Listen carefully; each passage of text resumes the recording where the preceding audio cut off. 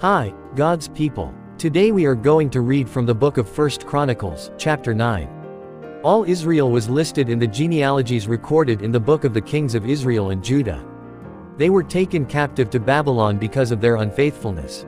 Now the first to resettle on their own property in their own towns were some Israelites, priests, Levites and temple servants. Those from Judah, from Benjamin, and from Ephraim and Manasseh who lived in Jerusalem were Uthai son of Ammihud, the son of Omri, the son of Imri, the son of Bani, a descendant of Perez son of Judah. Of the Shilonites, Asaiah the firstborn and his sons. Of the Zerahites, Jeuel. The people from Judah numbered 690. Of the Benjamites, Sallu son of Meshullam, the son of Hodaviah, the son of Hassenuah. Ibneiah son of Jeroham, Elah son of Uzzi, the son of Mikri, and Meshullam son of Shephatiah, the son of Reuel, the son of Ibnijah. The people from Benjamin, as listed in their genealogy, numbered 956. All these men were heads of their families. Of the priests, Jedaiah, Jehoiarib, Jachin, Azariah son of Hilkiah, the son of Meshullam, the son of Zadok, the son of Meraioth, the son of Ahitub, the official in charge of the house of God. Adaiah son of Jeroham, the son of Pashhur, the son of Malchijah, and Maasai son of Adiel, the son of Jahzerah, the son of Meshullam, the son of Meshillemith, the son of Immer. The priests, who were heads of families, numbered 1,760. They were able men, responsible for ministering in the house of God. Of the Levites, Shemaiah son of Hashub, the son of Azrikam, the son of Hashabiah, a Merarite, Bakbakkar, Heresh, Galal and Mattaniah son of Micah, the son of Zichri, the son of Asaph, Obadiah son of Shemaiah, the son of Galal, the son of Jeduthun, and Berechiah son of Asa, the son of Elkanah, who lived in the villages of the Netophathites. The gatekeepers, Shallum, Akkub, Talmon, Ahiman and their fellow Levites, Shallum their chief being stationed at the king's gate on the east, up to the present time. These were the gatekeepers belonging to the camp of the Levites. Shallum son of Kore, the son of Ebiasaph, the son of Korah, and his fellow gatekeepers from his family, the Korahites were responsible for guarding the thresholds of the tent just as their ancestors had been responsible for guarding the entrance to the dwelling of the Lord.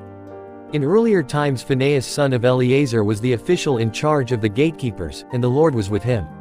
Zechariah son of Meshelemiah was the gatekeeper at the entrance to the tent of meeting. Altogether, those chosen to be gatekeepers at the thresholds numbered 212. They were registered by genealogy in their villages. The gatekeepers had been assigned to their positions of trust by David and Samuel the seer. They and their descendants were in charge of guarding the gates of the house of the Lord, the house called the tent of meeting. The gatekeepers were on the four sides, east, west, north and south. Their fellow Levites in their villages had to come from time to time and share their duties for seven-day periods. But the four principal gatekeepers, who were Levites, were entrusted with the responsibility for the rooms and treasuries in the house of God. They would spend the night stationed around the house of God, because they had to guard it, and they had charge of the key for opening it each morning. Some of them were in charge of the articles used in the temple service, they counted them when they were brought in and when they were taken out. Others were assigned to take care of the furnishings and all the other articles of the sanctuary, as well as the special flour and wine, and the olive oil, incense and spices. But some of the priests took care of mixing the spices. A Levite named Mattithiah, the firstborn son of Shallum the Korahite, was entrusted with the responsibility for baking the offering bread. Some of the Kohathites, their fellow Levites, were in charge of preparing for every Sabbath the bread set out on the table.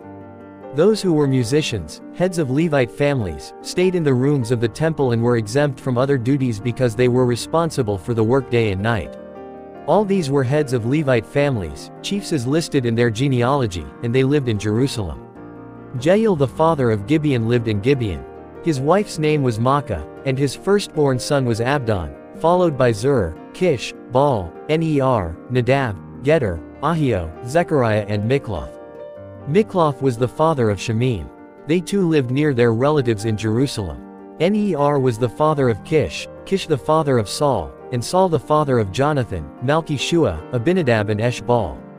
The son of Jonathan, Merib-Baal, who was the father of Micah. The sons of Micah, Pithon, Melech, Tahrea and Ahaz. Ahaz was the father of Jada, Jada was the father of Alemeth, Azmaveth and Zimri, and Zimri was the father of Moza. Moza was the father of Bineah, Rephaiah was his son, Eliezer his son and Azel his son. Azel had six sons, and these were their names. Azrikam, Bokeru, Ishmael, Sheariah, Obadiah and Hanan. These were the sons of Azel. Praise the Lord. See you all tomorrow.